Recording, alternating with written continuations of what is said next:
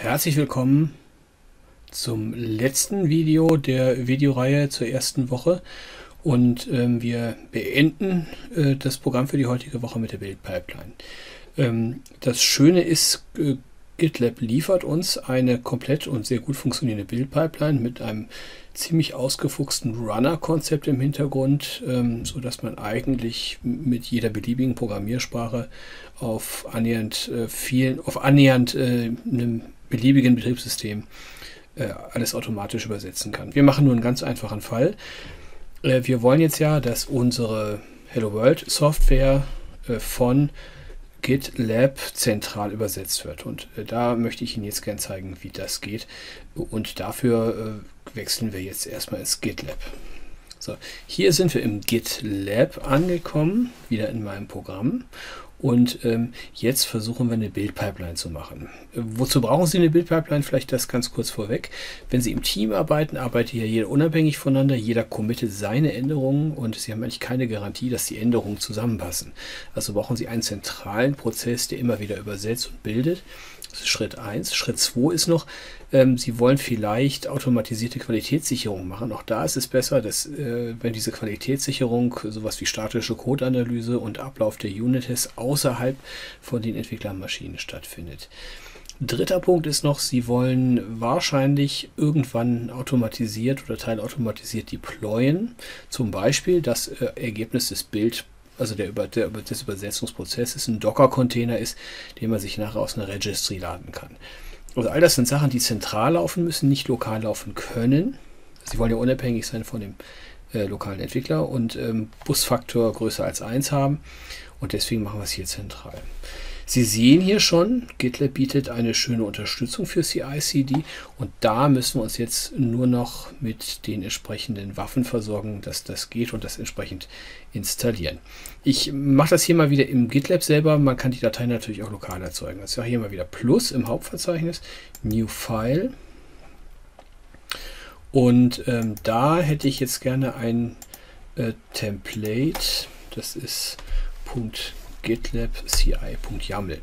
Ich ähm, baue Ihnen die Datei jetzt mal Schritt für Schritt zusammen, um so ein bisschen zu erklären, äh, was darin passiert.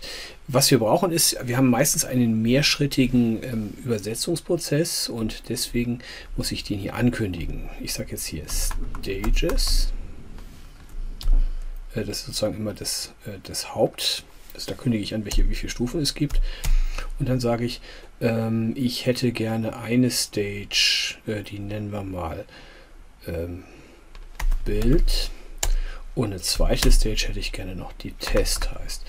So, das heißt, äh, was wir jetzt angekündigt haben, jetzt haben wir gesagt, unser Bildprozess läuft in zwei Stufen ab, ein Bild- und ein Testprozess. So, als nächstes muss ich jetzt erzählen, was soll denn bei Bild und bei Test passieren. Das heißt, ich mache jetzt hier mal eine Abteilung auf, die nenne ich Bild Java. Und deswegen nenne ich dann Stage Bild. Und weiter unten Test Java. Und die Stage Test.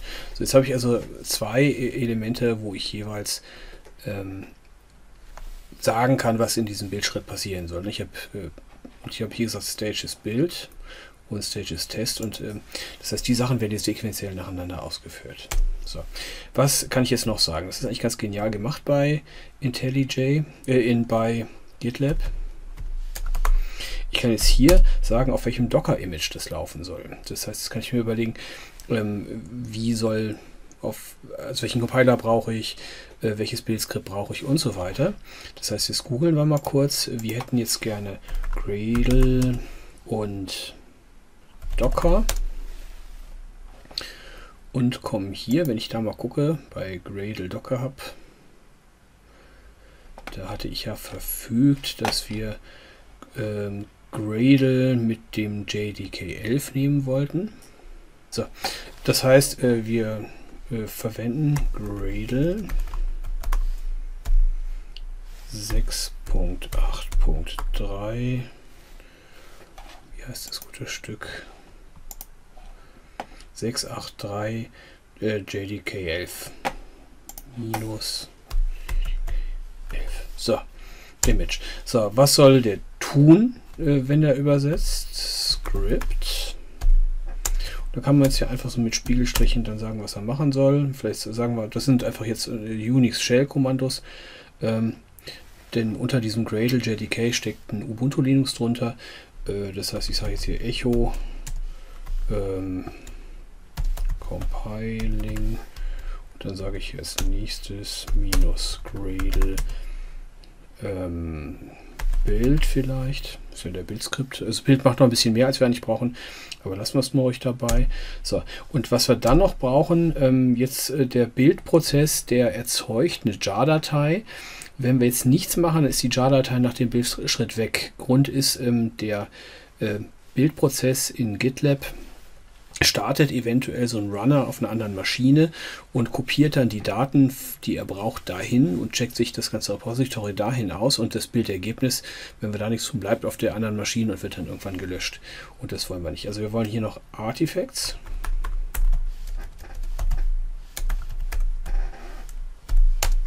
Und dann sagen wir, was wir übrig behalten wollen. Und da wollen wir die äh, Datei haben, Bild libs Stern.jar. Ähm, wir wollen die Artifacts in BuildLibs jar haben. Das, das, das müssen wir dem jetzt noch genau sagen. Paths und das bitte BuildLibs.jar.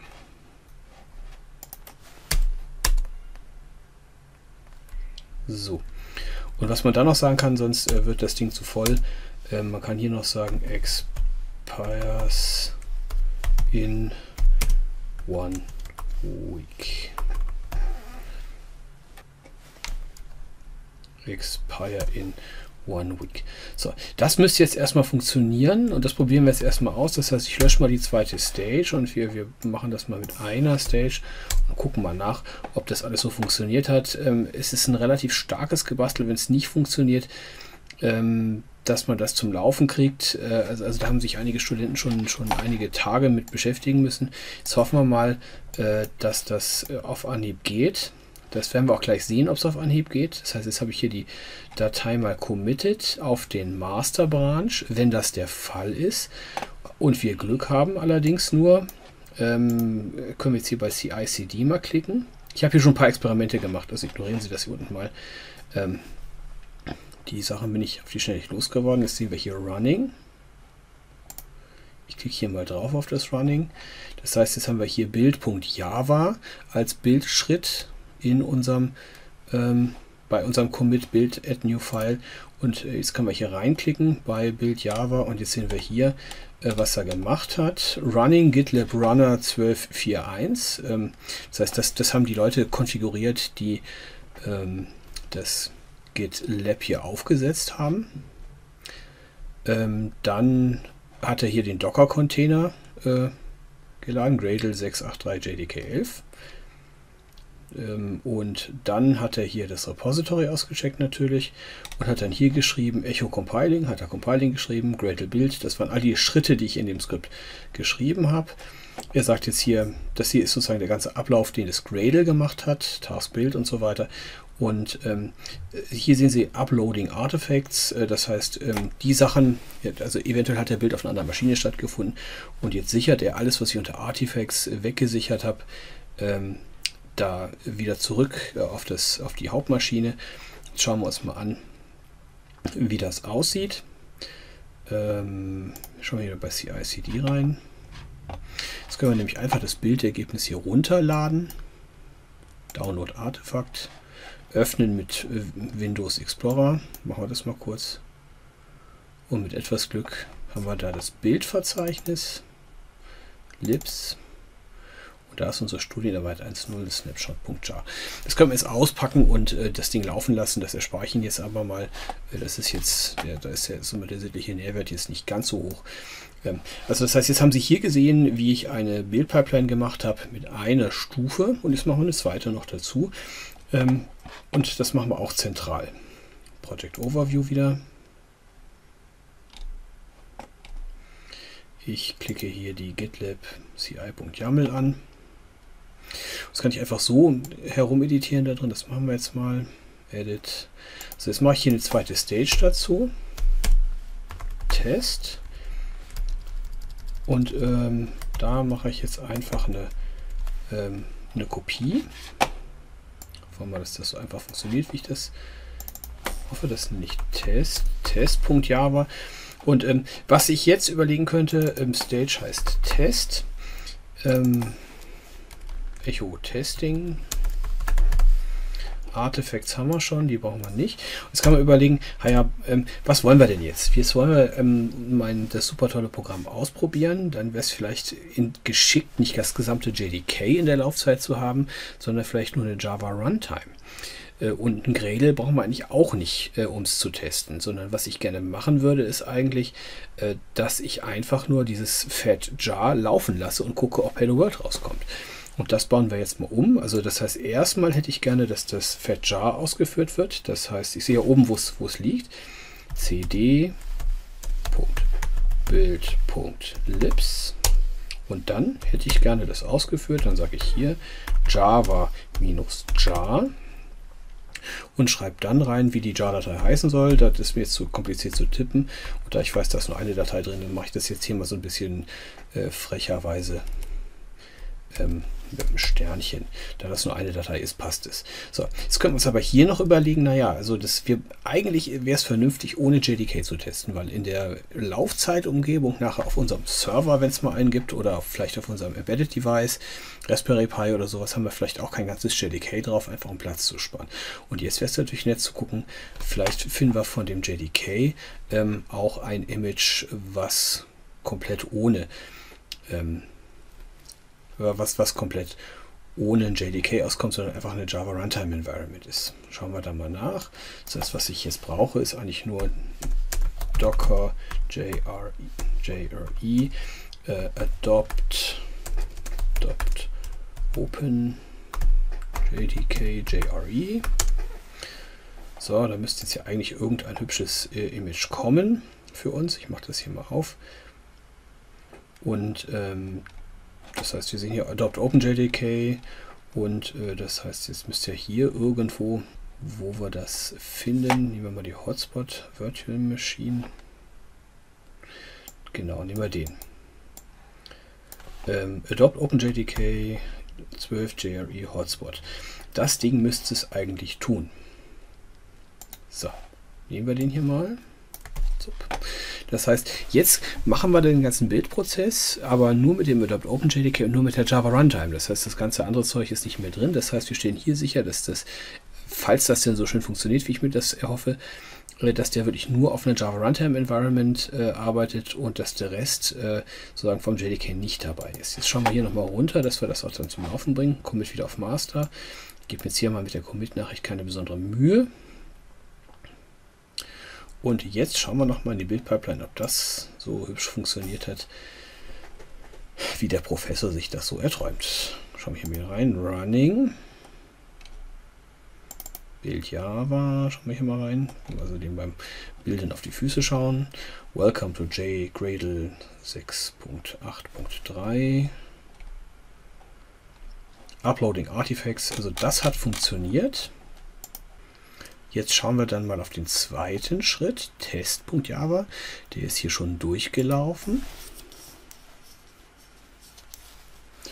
Und Sie sehen, was hat er jetzt gemacht? Das ist jetzt mein äh, selbst gebastelter Testskript. Ähm, er startet hier GitLab Runner wieder, holt sich das Docker-Image vom Adopt OpenJDK. Das heißt, jetzt haben wir tatsächlich ein, andere, ähm, ein anderes Docker-Image darunter. Das heißt, äh, das ist jetzt noch das JRE ohne JDK.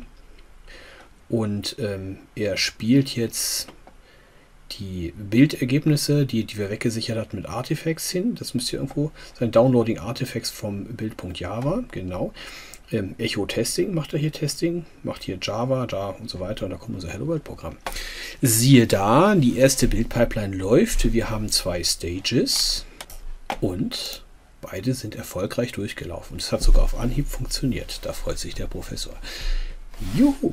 Das heißt, schließen wir das also ab. Das heißt, was Sie jetzt gesehen haben, ist, wie baue ich eine Bildpipeline. Eine ganz, ganz einfache natürlich mit Java auf GitLab.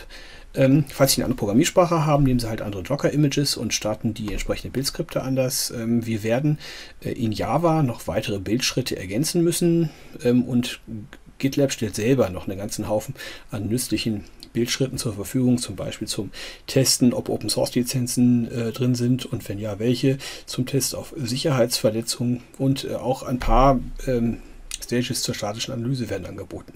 Das schauen wir uns nochmal an. GitLab lässt das unter der Überschrift ähm, Auto DevOps laufen, äh, wo dann also wirklich eine sehr, sehr mächtige Bildpipeline gestartet wird. Aber so, wie gesagt, so ausführlich machen wir es nicht. Ähm, uns geht es hier wirklich um ganz, ganz einfache Bildschritte. Vielen Dank für Ihre Aufmerksamkeit und ähm, weiter geht es nächste Woche.